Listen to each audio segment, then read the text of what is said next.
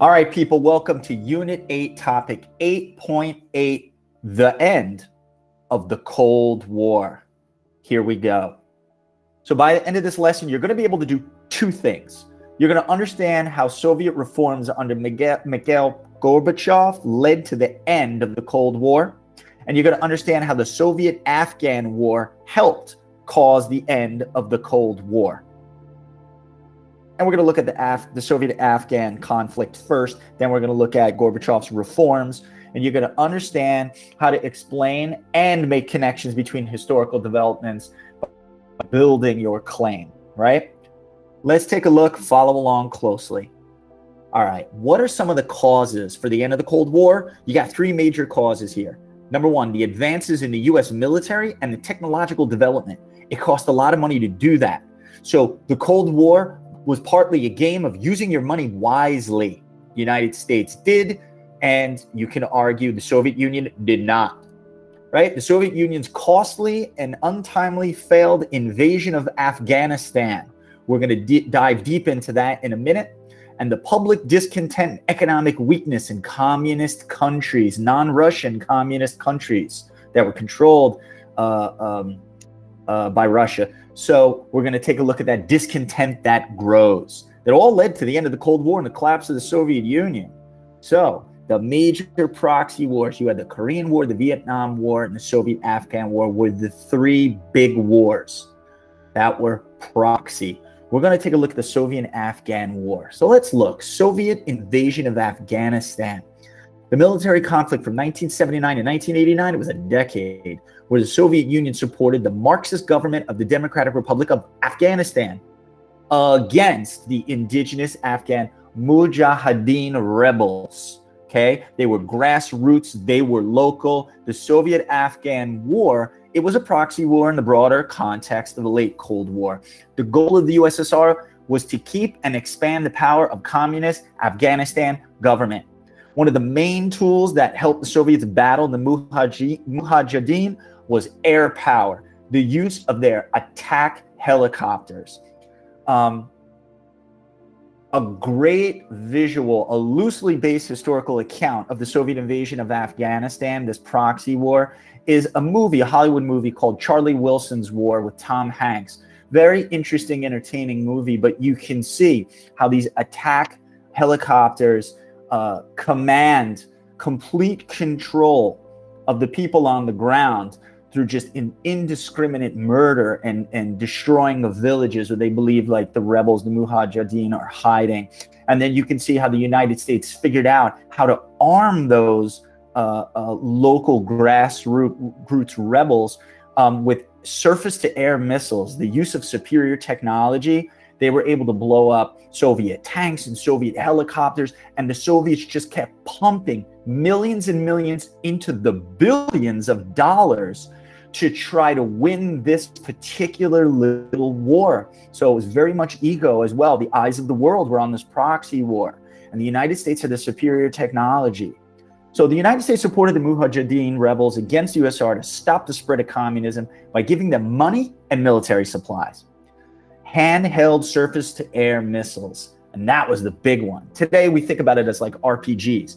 These enabled them to shoot down Soviet helicopters, which was a major turning point in the war.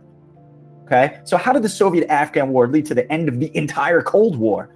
Well, the unsuccessful Soviet invasion of Afghanistan, it was an expensive failure, as I've just previously stated. It helped prevent the Soviet military from closing the growing technological gaps within the United States military. And it showed other nations that wanted to break away from the USSR that the Red Army was not invincible.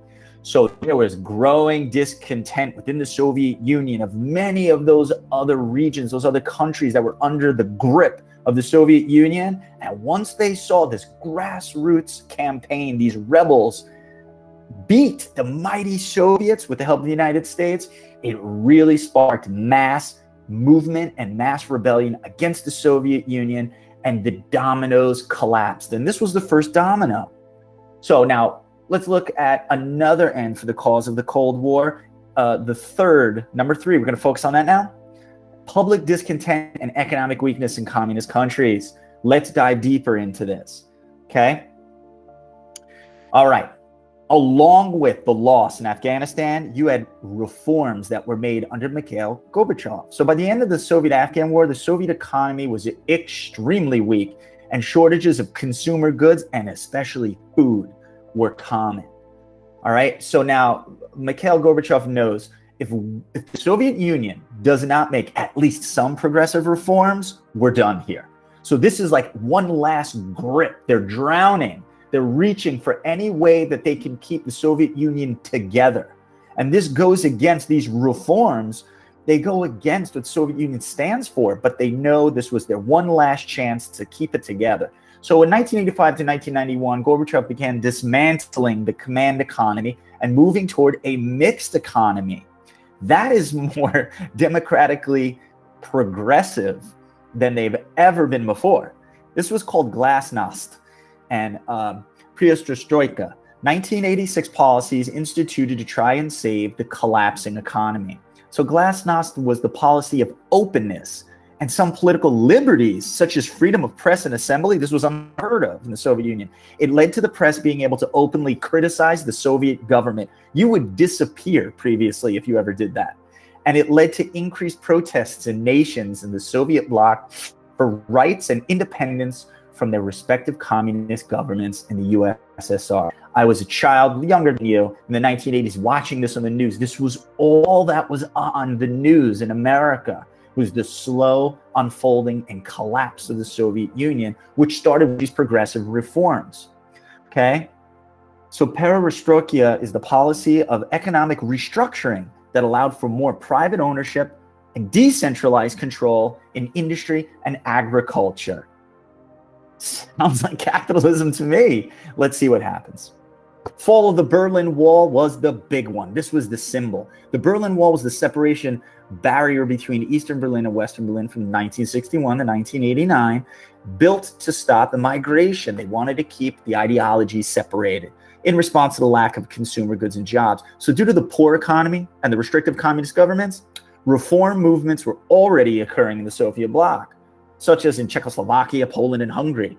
This revolutionary fervor would spread to East Germany. The Cold War symbolically ended in 1989 with the end of the with the fall of the Berlin Wall. Again, I previously told you I was a child watching this, and, and, and just everybody was just so emotional about it in America, and their stories just circulated our country and our media of families torn apart for over 40 years where you could not see your loved ones and now they're both on the each sides of the berlin wall and people are chipping away large portions of it and the cameras are right in their faces as they embrace for the first time in 40 years it's very emotional.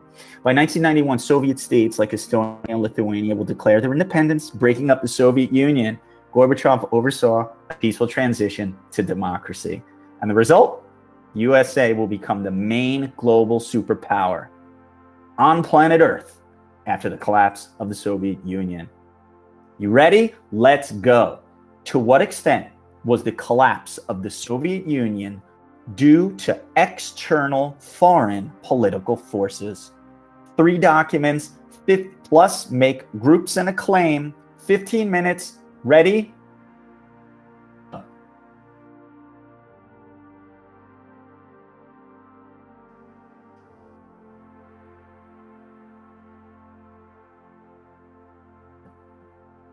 To what extent? So it was to a greater extent or lesser extent was the collapse of the Soviet Union. Well, who caused the collapse of the Soviet Union? Was it external foreign countries or was it internal political forces? So now, is it external? Whenever they do this, external. So now you're looking for external and internal. That's all you're looking for. And then you're adding them up. If you stay inside the document, that's the argument you make. That's more. If you want to go outside the documents, then you have to show the limit of the document and the greater historical context to back it up. So let's start by staying inside the documents. All right. Document A. Is it internal, external, or both? Um, anybody want to talk about document A? All right. Alexa, internal, external, or both? I said it was internal. Okay. Why? It was talking about like inner forces, how like they were like failing exploitation, and that like played like a really dramatic effect on them and kind of corrupted them. All right. So Václav Havel, president of Czechoslovakia, speaks on the negative impact of Soviet domestic policy, that is, internal legislative policies to persuade communist authorities to provide reforms. That's what it's about. Document A is internal. All right. This is internal. Would anybody like to uh, claim that is external as well? All right. So we all agree document A is internal. Document B. Raise your digital hand. All right. So first one was Jeremy. Jeremy, short and sweet. Is document B internal, external, or both? Document B is external because the it's about the Afghanistan war, which the Soviet Union was losing, and they also were getting more and more criticism from the rest of the world from uh, fr- from during. Ah, never mind. Yes. So, document B is external because the U.S. military proxy assistance contributed to Afghan victory. That's an external force. Does anybody also, does anybody want to contend that it's internal too? Raise your digital hand. Kendall, tell us why. Where in the document, Kendall? Um, I don't really know exactly where in the document, but I know from greater context that it was the so like it was a bad decision of the Soviets to go attack Afghanistan in the first place. So you can argue that it was like it was it was an internal like decision to go invade Afghanistan, so that's why it could be an internal cause. But based on the information in the document, it's um, primarily an external force. Okay, so Kendall, you guessed right that there is internal, but you always have to use evidence to back up your claim, or you or claim, or you lack credibility. Everybody, look at what I'm highlighting: opposition to the war from citizens in non-Russian Soviet republics. These are the angry people increased since their presence was often not even acknowledged by authorities who wished to play down Soviet involvement in Afghanistan. These Afghani became bitter and openly critical of Soviet leaders. The veterans, Soviet cities grew substantially, and the war veterans increasingly became part of the Soviet urban landscape. Oh, I go fight for you, the Soviet Union. I'm a proud Soviet, and now I get dismissed and I don't get any help from the government that's supposed to help people, look at the resentment, evidence of resentment. So it's also internal because non-Russian Soviet resentment grew from a lack of support of the from the war veterans. So it's ex- external and internal. You can't really argue which one was stronger than the other here without going outside the document. So you'd have to show limits if you want to go outside. But this is both. Third one, who wants to come? Whoa, hold on. Who was that? Per- okay, Alana. Internal, external, or both? Document C.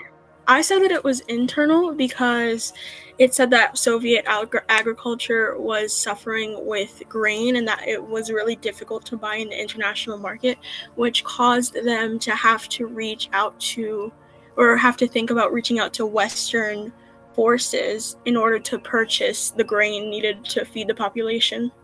Okay, Alana, I love how you use direct evidence right out of the document, and that's what you have. Make sure that you do that when you're doing your DBQ essay for the College Board exam. It's definitely internal because of so many reasons. Look, right out of the document, it's internal because uh, the Soviet Union mismanaged their uh, their own natural environment through agricultural issues. The Soviet Union misjudged the petroleum market. The Soviet Union mistakenly borrowed from capitalists, which went against everything they believed in, and it all led to the Soviet failure to put down rebellions inside their own borders. All evidenced in the document. Does anybody want to contend it's external too? Can I? Go for it, Leah. Um, because the Western Western forces refused to um, lend the Soviet Union money, so in that way, it's also external. Because if they had gotten the money, then they would have been better off.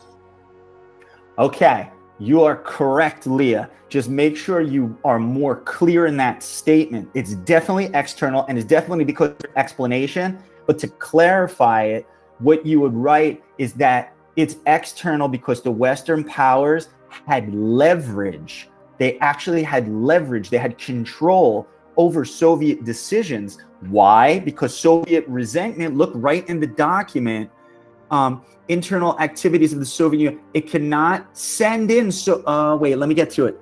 Um, the Soviet Union needed to borrow funds from Western banks, right, to purchase the needed grain. So the Soviet Union is begging on its knees to its mortal enemy, please, we need money, our people are starving to death. So this severely restricted the international activities of the Soviet Union. Now the Soviet Union can't keep spreading communism and, and try to draw heavy influence uh, to non-communist countries to make them communist. Do you know why? Because they couldn't, and they couldn't keep sending troops to put down the rebellion against communism from all the angry Soviets that are being swept under the rug, especially the war veterans, right? Because such an action would have resulted in a refusal of Western sources to lend the money that the Soviet Union needed. That's external force. So like the United States of America is like, we've got you now, Soviet Union. Your people are starving to death. Every mistake, every decision you've made internally has been a mistake, and you're suffering because of it. You desperately need money to feed your people. Here we go. We'll give you the money. Don't spread any more communism. We'll give you the money. Hey, by the way, yeah, uh, some of the people inside of your borders of your countries that you control, they're turning to us as well. Oh, they're starting to rebel against you don't you put down those rebellions or we'll take our money back. See how the United States is starting to gain major economic leverage over the Soviet Union. So this one is both internal and external.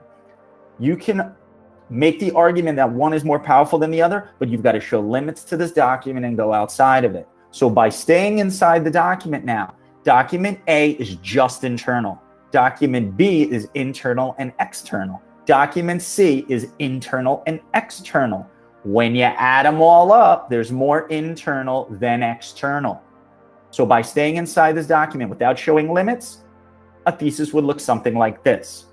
To what extent was the collapse of the Soviet Union due to external foreign political forces? The groupings internal would be all three, ABC, evidence in there. The groupings for external would be documents B and C. So, what would it look like? Although external Cold War policy fo political forces from foreign countries were influential to a degree, it was internal policy failures that were instrumental to a greater extent in the collapse of the Soviet Union. The reason for this is because documents B and C reveal Western economic leverage and U.S. arms assistance as external forces, while documents A, B, and C reveal severe internal social, political, and economic mismanagement by the Soviet Union, right? Which ultimately resulted in the collapse of the Soviet Union. And that's to that greater extent. So if you stay inside the document, the argument would be this. If you want to say that external was the greater force, then you have to show the limits of the documents that, that reveal internal. All right? And that's how you would do it. So, what should we take away from this whole thing? The Soviet Union invaded Afghanistan to put down rebel attacks by the Mujahideen against the Afghan communist government the Soviet Union's costly and untimely failed invasion of Afghanistan, it contributed to the collapse of the USSR. Mikhail Gorbachev comes around to try to pick up the pieces. He sees all the internal economic mismanagement and all of the failed policies, internal policies of the Soviet Union. And, and the effects of that are, you can argue, a famine within many of the countries of the Soviet Union. And they had to turn to Western capitalist banks for money, which in turn gave Western powers leverage over the Soviet Union. And all of this led to the eventual demise and collapse of the Soviet Union and the end to the Cold War. Really hope this helps.